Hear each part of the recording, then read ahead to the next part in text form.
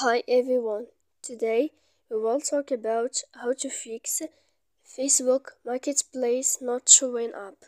To know how to fix Facebook Marketplace not showing up, you should just go to settings like this, we will click. After that in this page you will go to apps, default apps, app settings.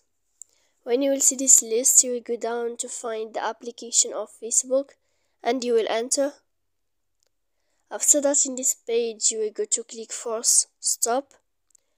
When you will end this you will enter to storage. After that in this page you will go to click clear cache. And sorry for that mistake apps and then you will go to click for uh, Facebook. After that force stop and then you will go to click storage. Here you will go to click clear cache. After that you will go to click clear data and when you end you can turn off your phone. So please don't forget to support us by like and subscribe. See you next time